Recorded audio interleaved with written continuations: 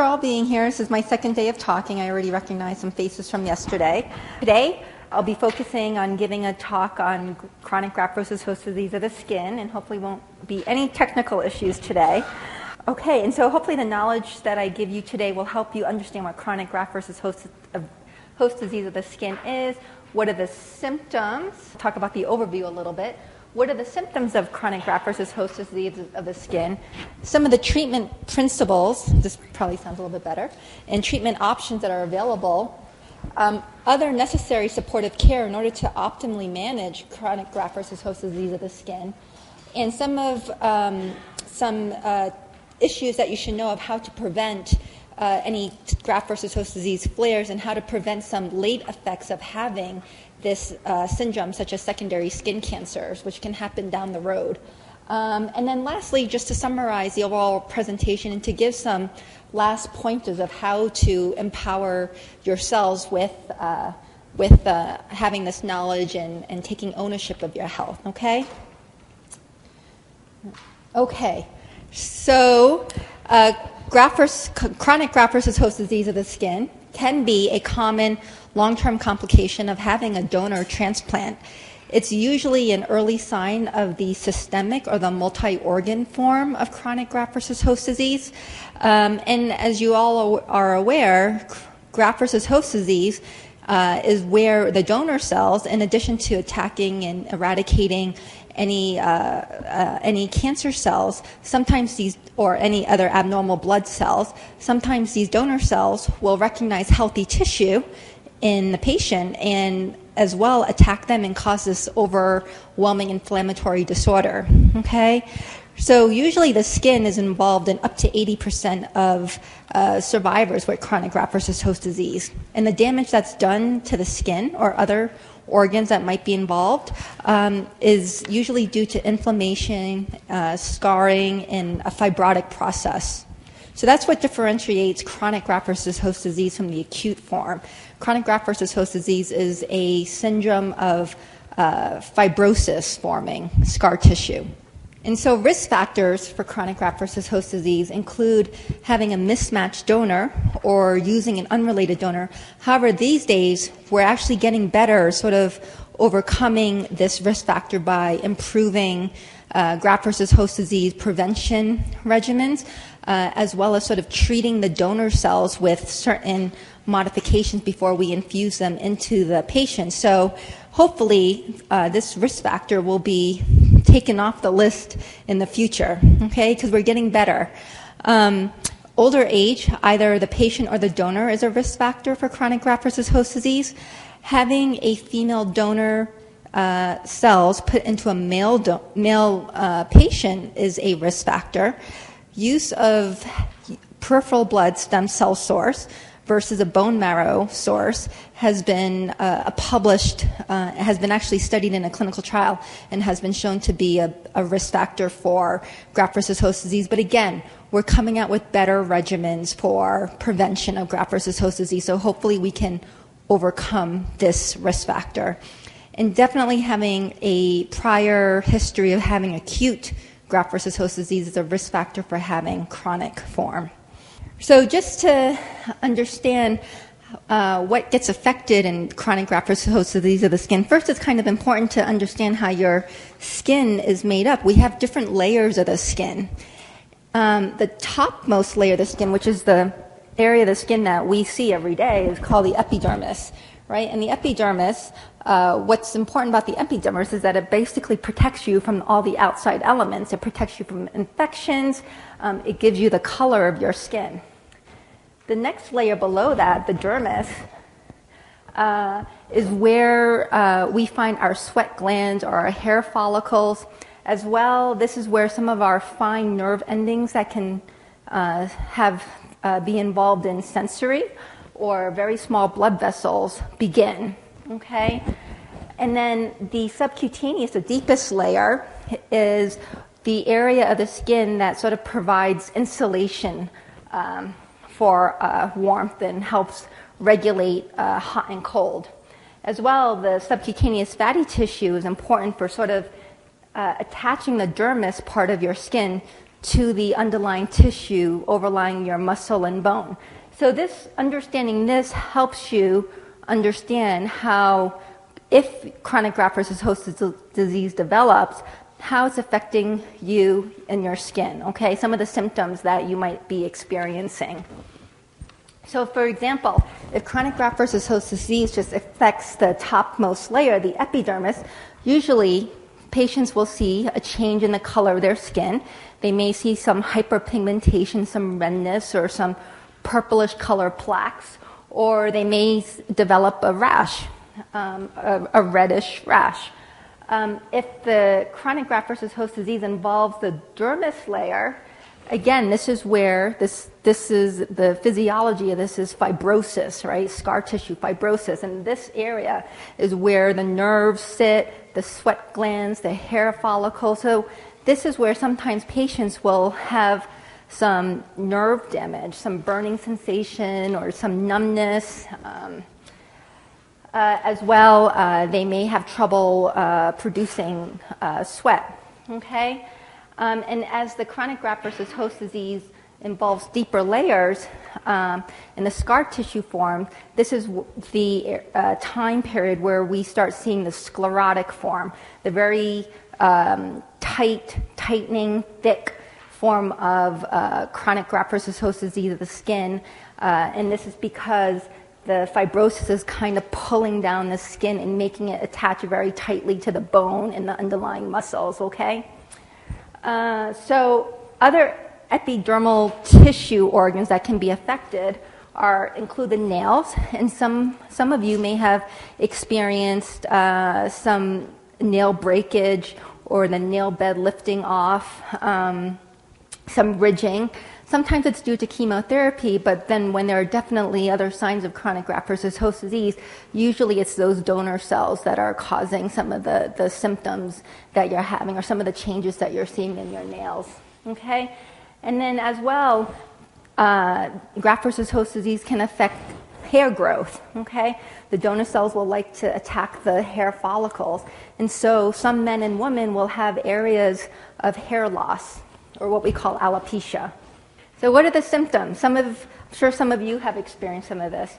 Uh, itching is very common, okay? Thickness and tightness of the skin. As it progresses, uh, some patients can have some joint stiffness, sometimes muscle cramps, and that's again because the, the fascia and the tissue is very tight around the muscles uh, and sometimes tingling or burning or, or pain sort of lancing across the skin. And again, these are because the nerves are affected.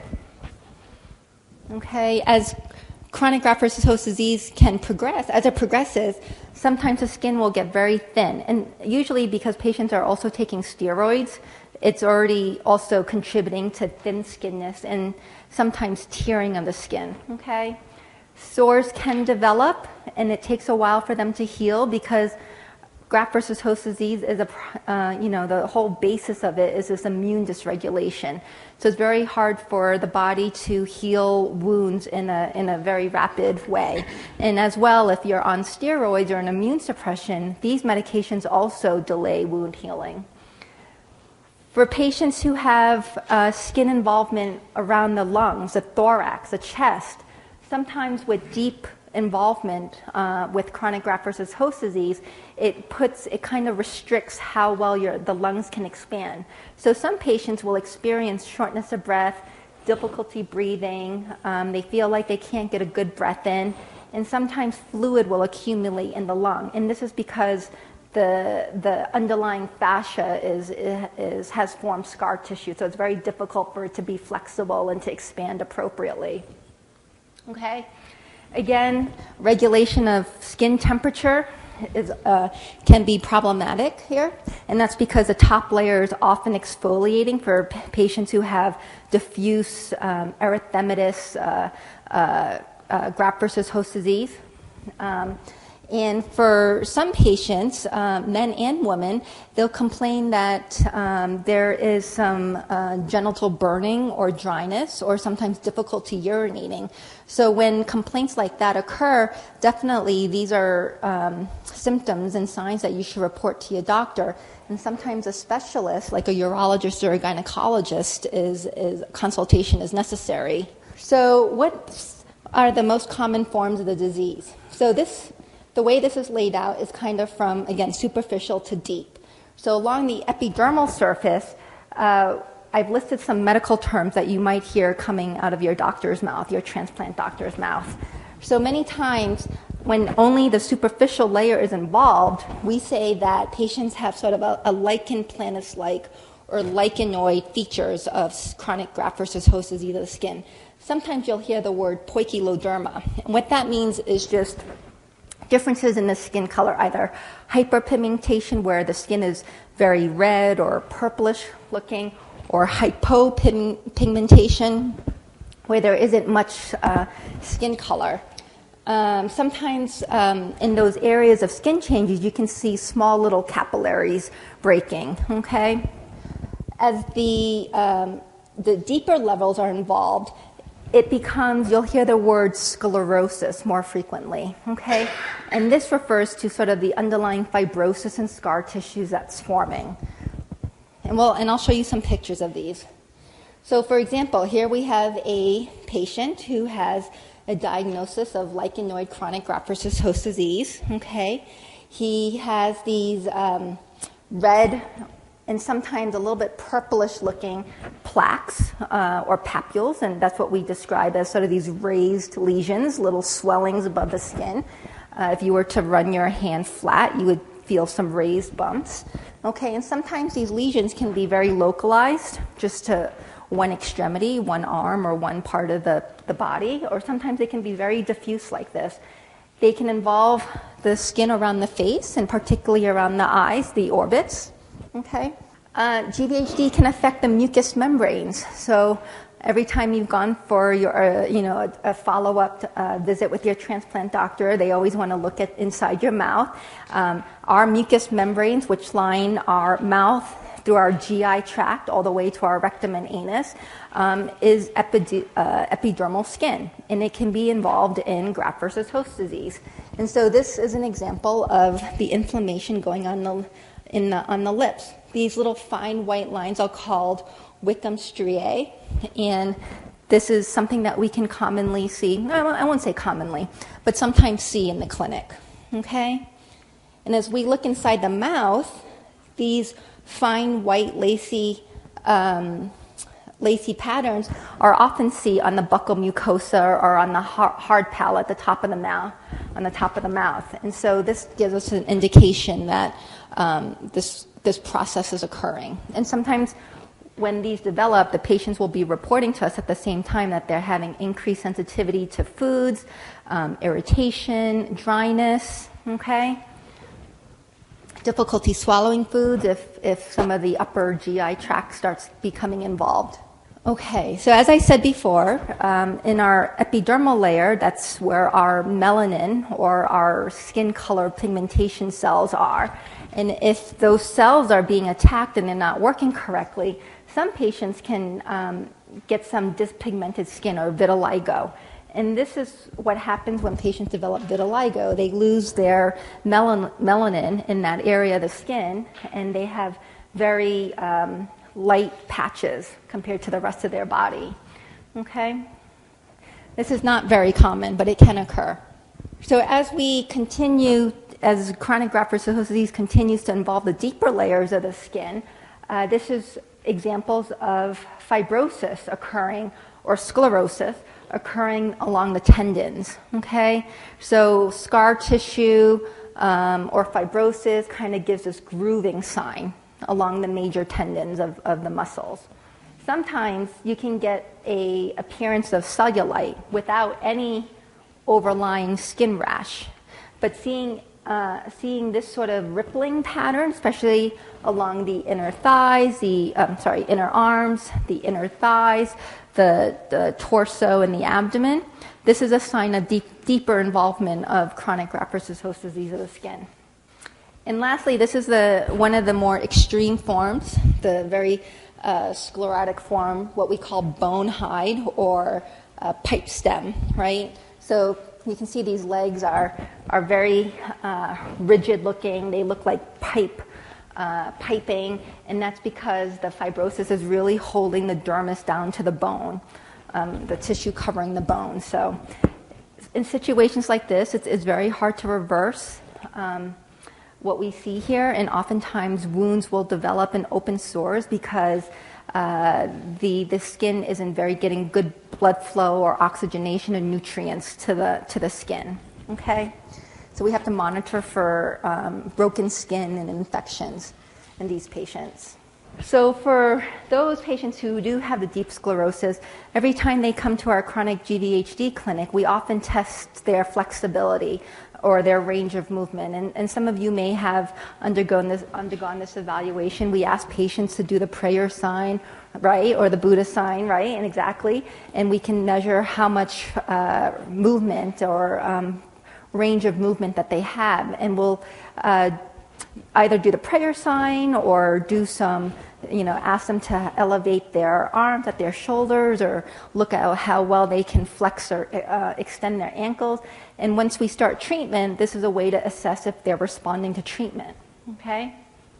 All right, so as I mentioned before, the nails can be affected, and this is just an example of some of the nail changes. In this patient, he actually lost his nail bed. And then example of uh, the hair follicles being involved by graft versus host disease. So, alopecia, hair thinning, hair loss. And so, when we um, think about treatment, there are several principles that we like, that transplanter doctors like to, to go by. The first thing is, well, we want to control the current symptoms that you or other patients are experiencing. You want to prevent additional organ damage minimize treatment toxicity. So we could, if we can avoid systemic steroids, uh, which we all hate, we'll do so, um, and avoid other late treatment effects. And then at the same time, we want to make sure we're treating you with uh, medications that don't put you at risk for your original blood disorder to come back, okay?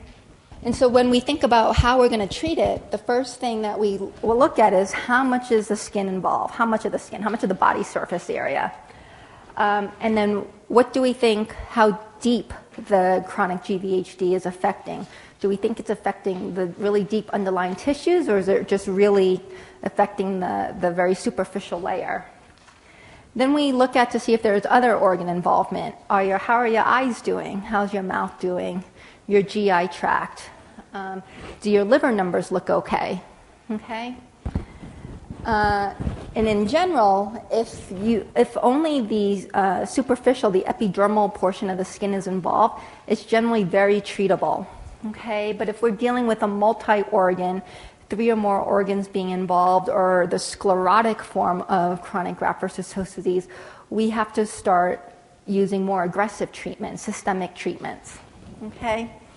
So the most, one of the most important um, interventions to start as actually as soon as you come out of transplant is to begin regular use of moisturizers on the skin. I'm talking about medical emollients, not the emollients that are, you know, perfumey or have all these promises of anti-aging properties, but med- medicinal, medical grade emollients, which are like thick creams.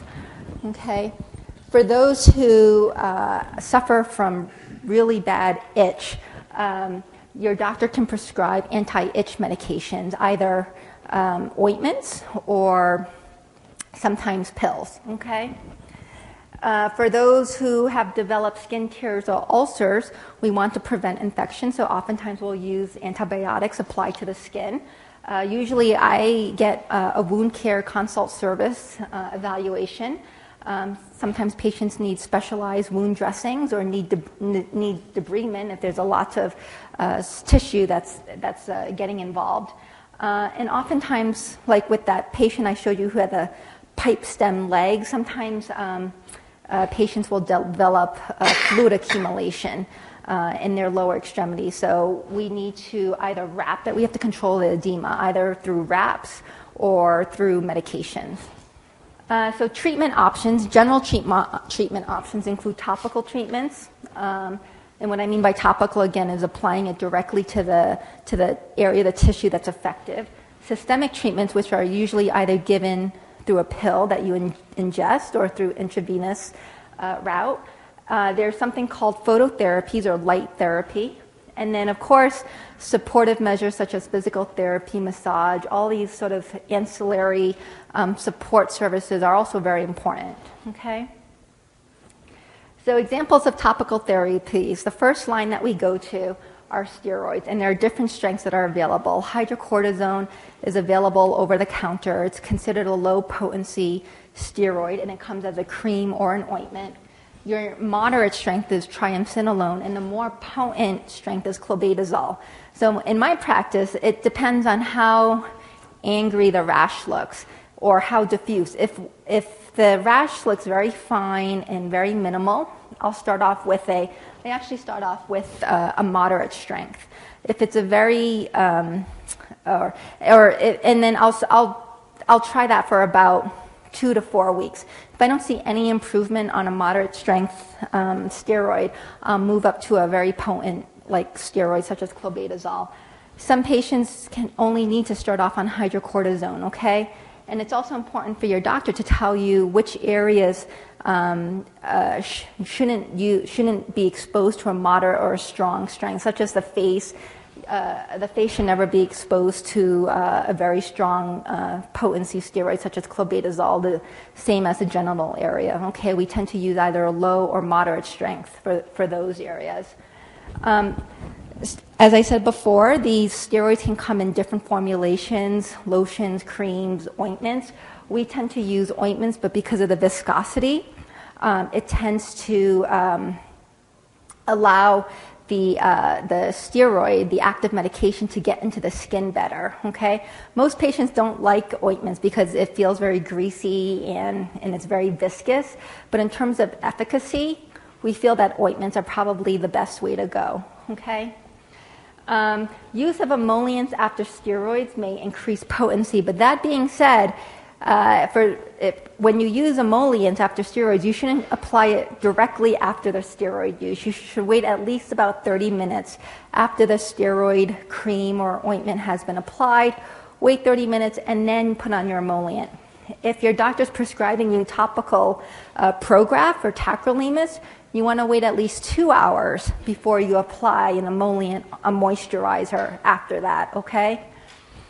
Uh, for some people, and I've actually seen very good benefit with this, uh, use of wet wraps on top of the steroid or the topical treatment will help the absorption of that medication. And, and sometimes I see a much more dramatic response to that topical treatment. Okay? With the steroids, you want to be careful of being exposed to it for too long. Usually, um, you don't want to be exposed to it for more than six weeks. Okay, some transplant doctors will use it longer than that, but generally after six weeks, your skin will start to get very thin and fragile. Okay. And again, I just kind of already mentioned uh, tacrolimus ointment. The, the brand name is Protopic, or there's another one called pimecrolimus, or and the other name for that is Elidel. Okay. So for those who have involvement of the mouth, the buccal mucosa, and Dr. Treaster just gave a whole lecture on this. Uh, options include, you know, a dexamethasone swish and spit, which is the most preferred, but there are other potent, potent uh, levels of steroid um, solutions. Um, using a steroid gel or a steroid paste directly to the lesion can help. And then um, something called intralesional steroid injections for really uh, refractory cases of ulcers can also be very beneficial. Okay? Uh, for those who have involvement of their uh, the skin in the genital area, uh, water-based lubricants and topical estrogen uh, along the vulva or vagina can be helpful. And this is where it's really important to see a gynecologist who's very familiar with treating graft versus host disease of the genital area. Okay, moving on to systemic therapy. So again, either it comes in oral form or intravenous, right? So the first line agent that we use these days are steroids still. um, is proven to be the most effective. Approximately 50% of patients will respond to steroids. For the other 50% who don't respond, we have this whole other list of agents that are, um, are totally up for game. Okay? So most of patients might still be on their calcineurin inhibitor. They're either their TAC or their cyclosporin. If these agents have already come off, um, your transplant doctor may put them back on to help uh, give an extra boost with the, uh, the steroids. The whole goal of, of all these agents is really to get you off the steroids as quickly as possible because we know, we all know that long-term steroids doesn't make you feel good and it has long-term late effects. So if we can add on other agents so that we can decrease the steroids as rapidly as possible, that's what we're trying to do, okay? Uh, sirolimus is another type of immune suppressive drug that we use to treat chronic graft versus host disease. Mycophenolate mofetil, or the other name is Cellcept. Rituximab, this is an anti-CD20 antibody uh, that we typically use for in lymphomas, patients who have lymphomas. But we know that because what it does, it targets the B cells. Um, and in chronic graft versus host disease, we know that it's both the B cells and the T cells that are involved in causing this whole issue. So that's why rituximab might be brought up as an option to help basically kill off those really active B cells that are producing the antibodies that's causing the graft versus host disease.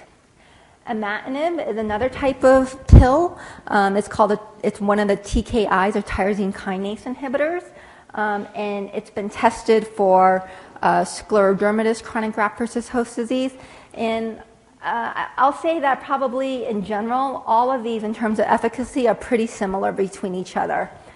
The t- two newest agents that we're using in the clinics these days are ibrutinib and ruxolitinib. Ibrutinib was actually just, it's the first and only FDA approved agent um, for treatment of chronic graft versus host disease uh, for those who failed steroids. Okay? It was just approved last year. This is a, another medication that's typically used for lymphoma for patients who have CLL or mantle cell lymphoma because Similar to rituximab, it targets the B cells, the B, the B cells that are producing their antibodies, and we actually have seen that it can also affect the T cells. So it kind of hits both, both, both of those bad players. Okay. Um, the one issue that I've seen with ibrutinib in the clinic is that half of the patients can't really tolerate it very well at the dose that it's recommended at because it can cause some muscle cramps it can cause the, the, platelets to go down. And so sometimes we have to dose reduce, keep dose reducing, or sometimes some patients just have to come off of it just because of those uh, annoying side effects. Um, and then lastly, uh, ruxolitinib, or the other name is Jakafi, uh, has been a very promising agent. There was this big uh, study that came out from Europe last, last year, actually, it's probably been about two years now, where they surveyed a bunch of German physicians um, based on their experience of just using this. It wasn't in a clinical trial, it was just based on prescribing it and see what happened to their patients. And in, as a whole, these physicians saw a marked improvement in skin, chronic uh, graft-versus of the skin, the GI tract, and a little bit in, in the liver, but mainly skin and GI tract with this agent. So it's actually be, being tested right now in a, a randomized phase three trial in the United States. They are patients are randomly being allocated to either a ruxolitinib with steroids or just uh, steroids without ruxolitinib, steroids and a placebo. And it will probably take a couple of years to get that data, maybe over more than two years, but hopefully we'll see that this has very high efficacy, okay? And the other thing is, coming from the University of Utah, we also have a couple clinical trials coming out or available. Right now, we are actually testing a hedgehog inhibitor for those who have sclerodermatous, the really fibrotic form of the graft versus host disease. We're testing this new agent to see if it can help prevent any progression or reverse some of the fibrosis. And the drug is called vismodegib.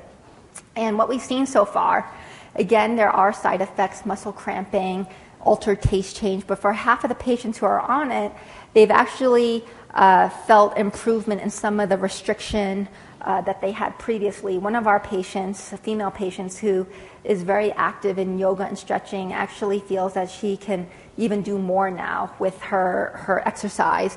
And another patient who was having very severe muscle cramps because of the GVHD is reporting improvement in, in the muscle cramps. And, and this affects quality of life, it improves quality of life. So we actually have that at the Huntsman Cancer Institute. And then soon we'll be opening up a trial where we're testing something called photopheresis, which I'm going to talk about, uh, with a JAK1 inhibitor and not use steroids at all for first line treatment of chronic graft versus host disease. So that's in the works right now. I mean, that's, that's the way that I think we're going to have to go in, in treatment of, of chronic graft versus host disease. We know that long term steroids are bad, and so now we're trying to you know, test agents where we don't have to use steroids or use steroids for long periods of time. Okay, so moving on to phototherapies or light therapy, some of you may have uh, utilized PUVA. So this is uh, the P stands for psoralen, and then it's ultraviolet uh, uh A rays uh, like what I wrote there. Um, it's only used for skin involvement, and it can be effective, especially if there's no deep sclerotic GVHD that's present. Really, it's for sort of I, I, know physicians who do try it for sclerotic GVHD, but the efficacy is, is probably not optimal. Okay? It's not uh, recommended to, to use in patients who have a prior history of skin cancer, and it can also be a risk factor for skin cancer. So, what in this process, what happens is that patients will ingest or uh, have applied to their skin a chemical called psoralen, and then these UV ultraviolet rays will be um, uh, shown on the skin and will activate the psoralen. And what what happens is that this basically immunosuppresses, it kind of quenches the immune reaction that's going on. It makes the T cells and the B cells kind of quiet so that it, it, it uh, makes the whole GVHD process quiescent, okay? Um, and then other uh, phototherapies that have been used in the past is also using UVA1, UVB, narrowband UVB. So we typically don't use PUVA uh, where I am at right now at the University of Utah. We rely on something called extracorporeal photopheresis or ECP as our next line of therapy after patients don't respond to steroid. Have any of you ever received photopheresis? Okay, actually quite a bit. All right, I would say almost half the room. Okay, so it's a similar concept, except that this time the patient sits at the machine. It looks like a hemodialysis machine, actually, a little bit and they usually have a, a, central line placed, and the machine draws the blood out of them. It separates the red blood cells and takes all the white blood cells, separates, filters out, um, and then the white blood cells are exposed to that chemical psoralen, and then it's kind of zapped by the, the ultraviolet light. Okay? And then it's reintroduced into the body. So the patient doesn't have to take any pill or uh, have any chemical applied to their skin. Their white blood cells are actually taken out of their body, exposed to the chemical, the light, and then put back into them. And then again, how it works is basically kind of suppresses the whole GVHD reaction. Um, we've seen really great benefit from uh, the use of ECP in both the acute and the chronic graft versus host disease.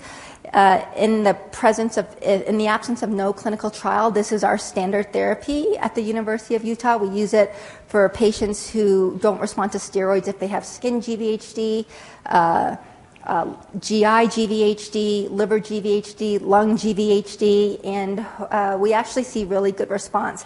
I've actually put a couple of my patients who have the sclerotic form of GVHD, and although there's no cosmetic change, uh, at least in the first 8 to 12 weeks, there's actually, with physical therapy, there can be a functional change.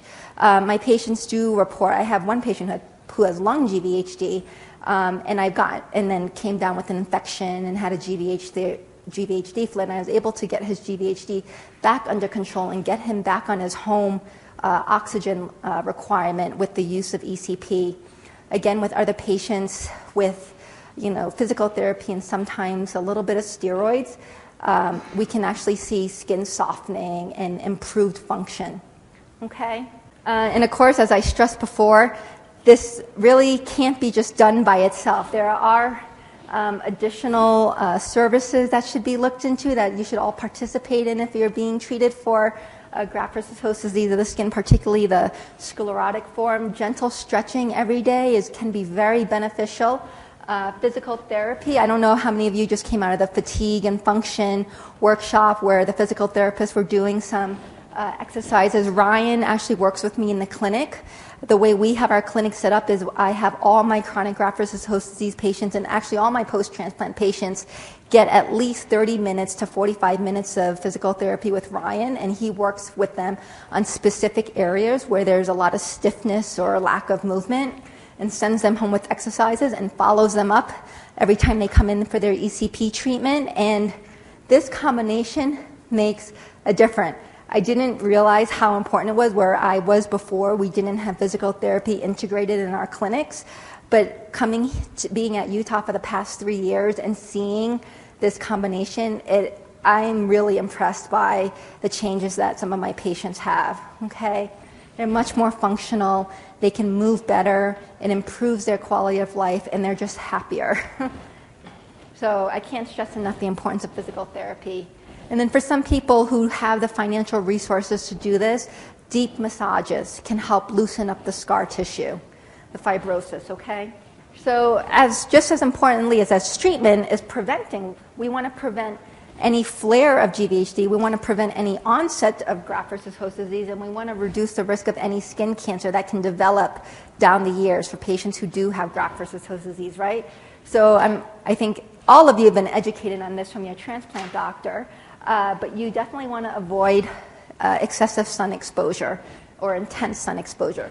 So you, and this occurs typically between 10 a.m. and 4 p.m. throughout the day. Okay, if you are going out, you want to use a sunscreen. The uh, National Institutes of Health recommend using a sunscreen SPF level of greater than 20.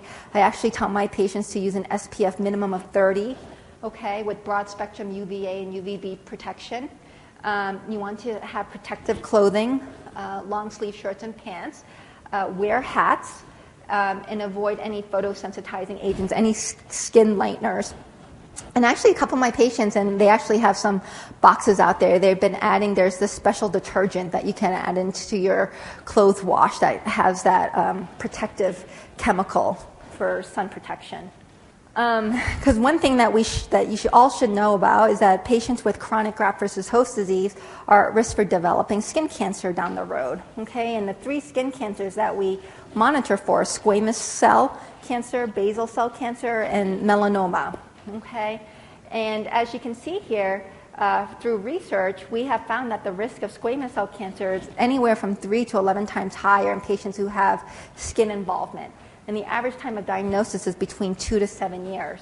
For basal cell, the risk is anywhere between, it's around two, two, two times more than the general population um, and can occur about seven to nine years after, after the diagnosis. And then malignant melanoma, even though I, I wasn't able to find how much the risk is increased, it can occur. It's not as um, often as squamous or basal, but it, it, can occur, and it usually will occur one to four years after. Okay? And while we advocate for all of our patients to see a, a dermatologist and have a skin check at least once a year, I'm putting these pictures up here so that you are aware and that you're able to do your own self assessment every few months, okay? And be able to know what you're looking for, okay? So this is an example of, and I hope I'm not, I'm probably in the way of some of the view here. An example of basal cell cancer, okay? So these lesions can look very pearly or waxy. Um, usually they form in sun exposed areas. Uh, sometimes they're called fleshy looking. They can be any color, okay? They can be clear, they can be pink, uh, red. Um, I even seen sort of a light blue tinge, okay? They're usually translucent, that's why they're called pearly. Um, sometimes you can see little tiny blood vessels or capillaries in them. Uh, and sometimes they are scaly with raised edges and they, and they really uh, spread. Squamous cell cancers, on the other hand, usually are firm red nodules. Sometimes they have a crusty uh, overlaying crust, and sometimes they, they could be bleeding. Um, uh, sometimes you might think of it as a new sore that just kind of popped out of nowhere. And that, that can be a, a little bit alarming. That's something that you should have a doctor look at, okay? Um, and again, a new sore or coming out of an old area scarring, okay? And then melanoma, which is just one example of melanoma, usually, uh, unlike these two guys, melanoma is very irregular appearing. It's usually flat. Um, there's border irregularity. It, the color can change over time. It can become progressively darker, usually is what I've seen. Um, and then the diameter is usually greater than a pencil eraser. Okay? And in melanoma, it changes over time. So that's why if you, you start see, you first see something unusual, look at it again a month later or three months later. If you start seeing changes in the way it looks, that's concerning. You should tell your doctor or see a, a skin doctor. Okay? Because melanoma, once it spreads, if it's not caught early enough and not treated early enough, it can be very difficult to treat, particularly if melanoma, and it likes to spread. Melanoma is a very aggressive skin cancer, okay? And it can go to the liver, it can go to the brain, it can go to the lungs. So this is one that you definitely want to treat as early as possible. Um, and melanoma just doesn't have to be on the face and the ch- or the arms or sun exposed areas. Sometimes patients will actually have an area, this abnormal brown lesion along the nail bed. So you should always look at your nails as well and your, your toenails. Procedures to avoid if you have active skin GVHD, try not to undergo any cosmetic procedures or surgery, no skin lightening products or tanning products, or vigorous outdoor activities if you're going to be exposed to intense sunlight. Um, more precautions or supportive treatments. If you are on steroids or immune suppressions, your doctor should have you on preventative antibiotics, right? Uh, especially antifungal, antibacterial, acyclovir to prevent any shingles outbreak. Uh, people who are on steroids, patients who are on steroids, bone strengthening agents are necessary, vitamin D supplementation with calcium to keep your bones strong because steroids can weaken bones over a long period of time.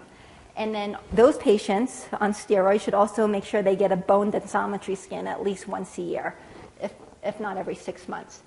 So, lastly, it's important to take ownership of your health. Report your symptoms, okay? Don't be shy. Don't blow it off, but tell your doctor. Protect your skin. Moisturize regularly, even if you don't have graft versus host disease. Do a skin self check. Do yourself a favor, okay? And prevent another cancer from happening down the road. Okay, and then just a quick summary. I won't have to go through this, but essentially it highlights everything I you know, just talked about. Incorporate stretching, physical therapy, and massage. I think that's super important. And treating chronic GVHD can be a long process, but don't lose hope. We are coming out with new medications. We're testing them. We're trying to avoid steroids. So hopefully in the future we'll get we'll find that magic pill. Okay? Thank you. You mentioned uh, a trial that's being done at Huntsman, and you also mentioned a Jakafi Yeah. combination drug that's being tested. Yeah. Could you repeat those? Yeah, so ruxolitinib, with a, it's called ruxolitinib, R U X O L I T I N I B, or otherwise parentheses JAK 1 and 2, is being tested uh, in a phase 3 trial. And some of the centers involved in that uh, are Vanderbilt, um, Washington University, I believe Moffitt's involved in that.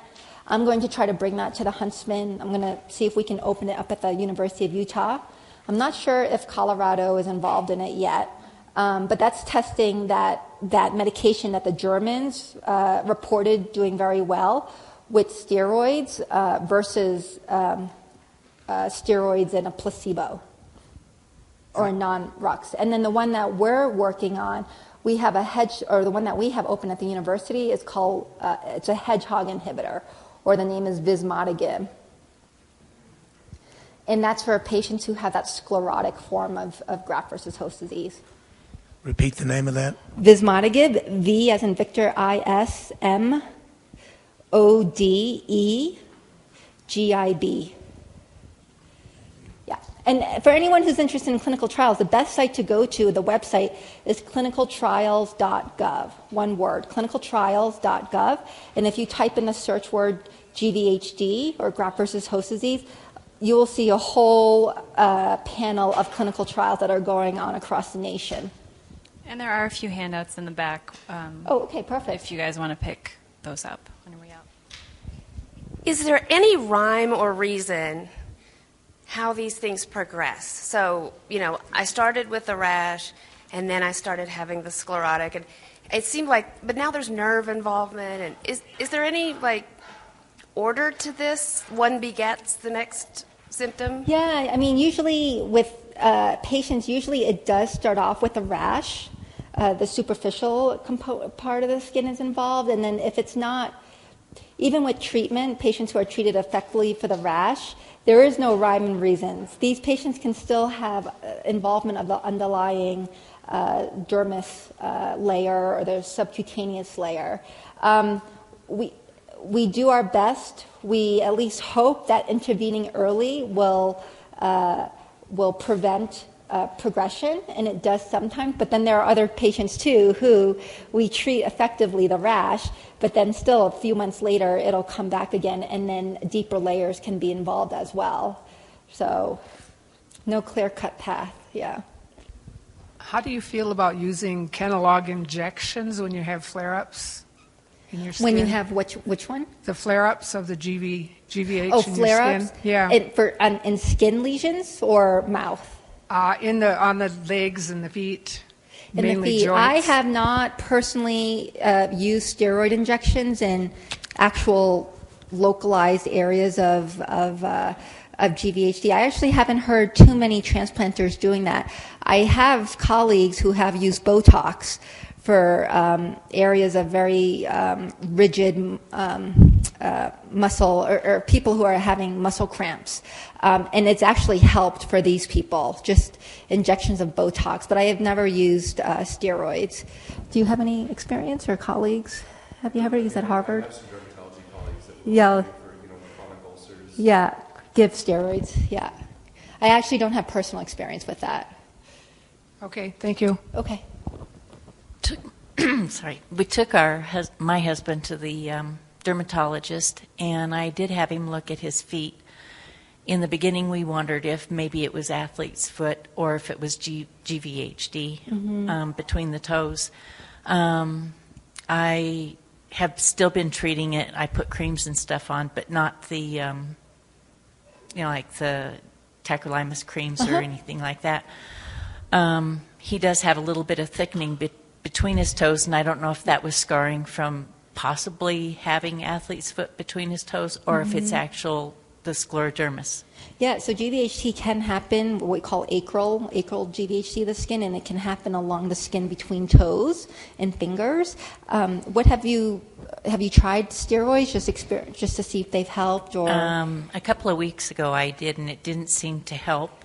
Okay. I don't know if maybe I was using the wrong one. Okay and it, uh, it, everything yeah depends on how long you use it and if you're using it twice a day consistently. Um, uh, have you biopsied has it been biopsied at all? Has it been suggested to biopsy it? No? He he goes back to the dermatologist this week so okay. i'll bring there are a couple of ways i mean you could try a, a more potent dose of steroid uh, cream or ointment and apply it twice a day and see if there's any changes. you need to give it at least probably a couple of weeks. Okay. okay? Will Will the thickening go away? It can. It can if it's GVHD. Yeah. Um, you could also try experimentally some protopic, the topical tacrolimus, and see okay. if that helps. But probably the most definitive way and, and, the fastest way of knowing is just to do a, a skin biopsy and see whether it's athlete's foot or versus some inflammatory condition. It seems to respond better to the um, antifungal creams. It, well, okay. But so, now yeah. I've got the scarring. It's so. got the scarring. Yeah, biopsy may. I would ask ask the dermatologist what he thinks about a biopsy. Yeah. I've seen like in recent years a lot of more studies coming out um, describing kind of the negative effects of sunscreen, like oxybenzone and things like that that are uh, endocrine disruptors or actually can cause genetic mutations in cells. Uh-huh. is there a point where using sunscreen becomes counterproductive? Is there, or is there a certain sunscreen that you recommend to your patients that doesn't contain a lot of those No, actually, I would have to read the data to see how they came out with those results and how they tested that and what sunscreens they they tested.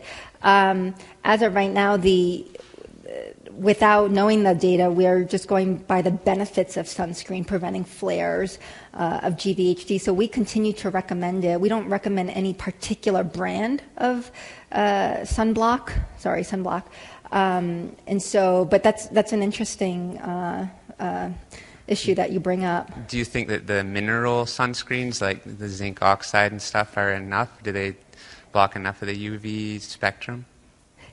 Uh, zinc, yeah, zinc oxide should, yeah, Okay. yeah.